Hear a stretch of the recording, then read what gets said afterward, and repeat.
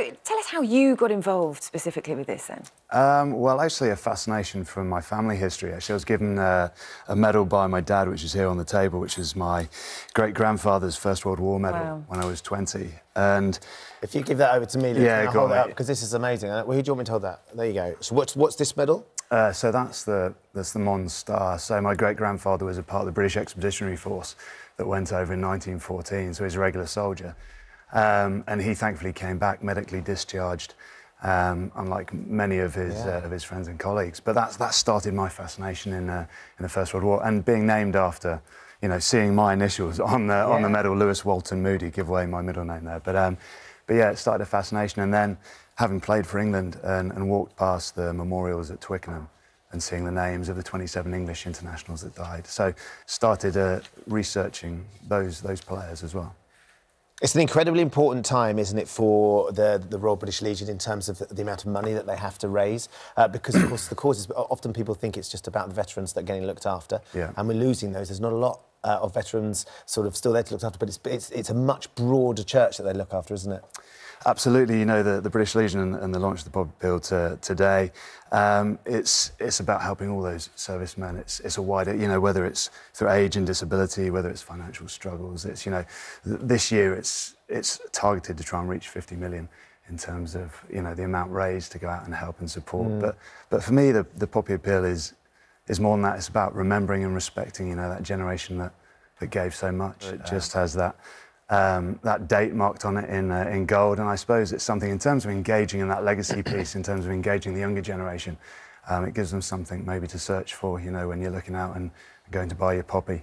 Um, that bit of gold leaf and, uh, and remembrance is engaging you that little bit more and trying to trying to spread the word to that next generation. It's about, you know, remembering the, the sacrifices, but also learning the lessons so we never go there again and we don't have that. And what about the controversy? Because more and more uh, over the years it's developed about the controversy around uh, poppy wearing and actually whether you should be obliged to wear a poppy, where you shouldn't wear a poppy.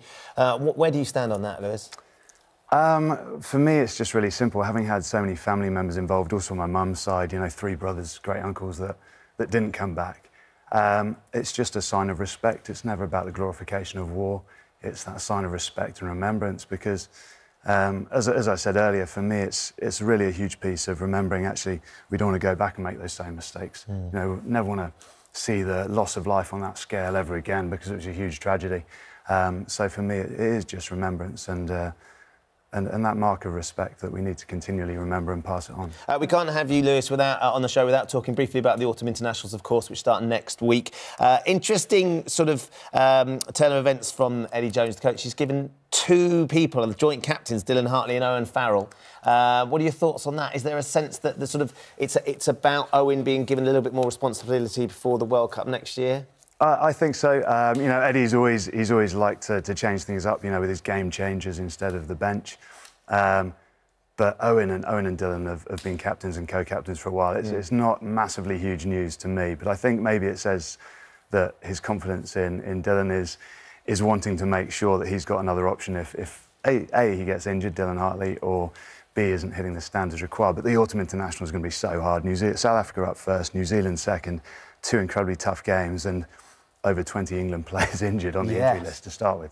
So, what would be a good result for England? Because we played Japan and Australia as well. Yeah. How, how many would we uh, hope to win? How many will Eddie Jones have his eye on? Say, if we get away with, with two out of four, that'd be good. Um, I think that would probably be exactly on the money to Really? for Japan, Australia. I think you know if, if you don't beat South Africa, you're, not going to beat New Zealand this year. They're just too strong. Um, you will you will sneak past well, you won't sneak past Japan. They should beat Japan convincingly. Australia could go either way, but if they get a win against South Africa early on, gives them some confidence, some momentum. Some young guys getting the chance. Zach Mercer potentially, uh, Tom Curry in the back row, young men getting the chance to play for their country. You know. Um, Sport's a funny thing; it can go either way, can't it? But if they get two wins, I think we should be uh, we should be happy. We should be all right. Okay, Lewis, lovely to see you this morning. Thanks so much. Thank you Pleasure. very Thank you, guys. Yeah, Cheers. he's hoping for a great poppy appeal this year. Yeah, once again. absolutely. 50 million pounds, a huge I amount of money. it is. And it does so much for so many people, families and current serving uh, soldiers and, and, you know, it's Does just help incredibly people, important. doesn't it? Very good.